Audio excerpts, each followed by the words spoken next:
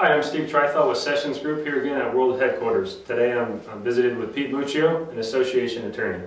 Uh, Pete, last time we talked about board meetings and issues that go on outside the board meetings.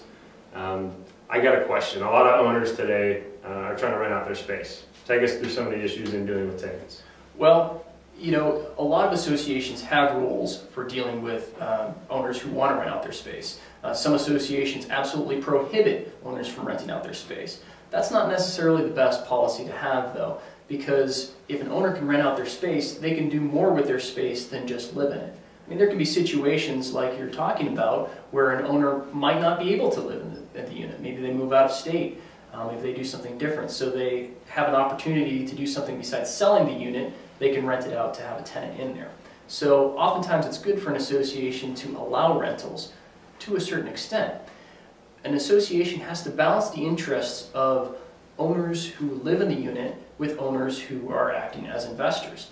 Um, there can be concerns in condominium communities as far as financing eligibility, whether or not uh, the association is still going to qualify um, for uh, FHA-backed financing.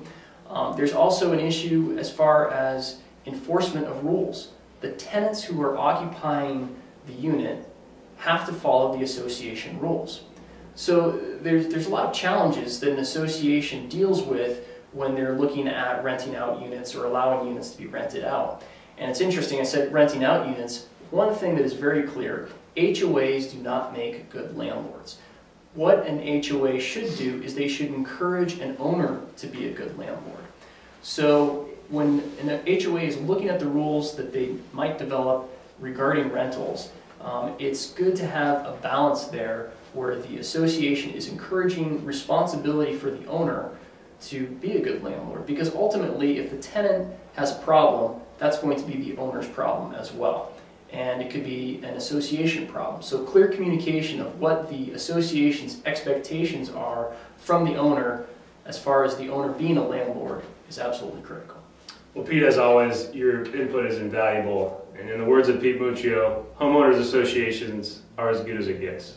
Join us next time. Give us a call. Shoot us an email. Thank you.